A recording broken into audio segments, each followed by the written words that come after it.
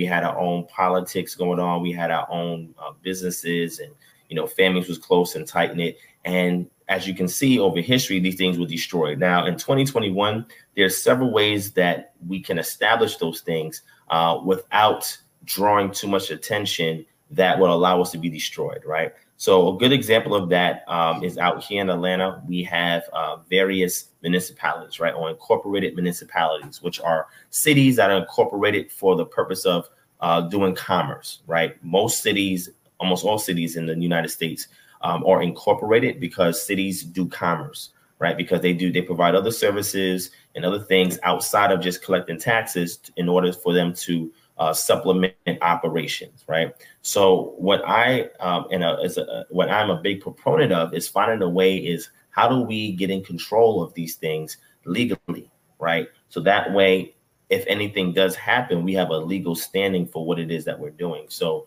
you typically have to get involved in the politics of the community, right? And when I say politics, what I'm saying is I'm not saying to choose politics that they're handing us. I'm saying we can actually uh, create our own city. Now, there's uh, every state has their own laws, and there are uh, something what's called the home rule. You have Dillon's rule and you have the home rule, right? So Dillon's rule or Dillon's law uh, pertains to uh, states having full control of everything within their borders, right? So if you start a city, a town, you have to follow nothing but state laws.